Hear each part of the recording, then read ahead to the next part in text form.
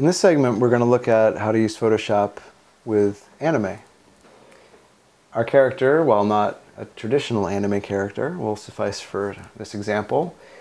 Where basically we've scanned this guy in and we need to separate him from the background. In order to do that, we're just going to switch to the magic wand tool, click once on the white background, and select the inverse. And now he's just selected. We can then go to Edit and choose Cut, and then Edit and choose Paste. And what we've just done is put him on his own layer while preserving the background layer. Now that the background's separate from the character, we can use the fill tool and fill it with any color that we'd like, say a dark red.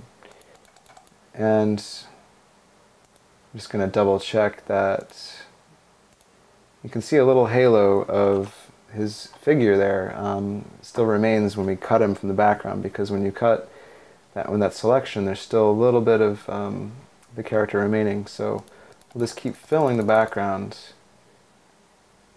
until it's solid and then place him back on the canvas there. Now uh, to change your layers here, um, I, I, really like to check off when the move tool is used, I like auto select layer on and show transform controls. Because when I switch to when I switch to this layer, I can just click right on him and move him around since auto select and show transform are there.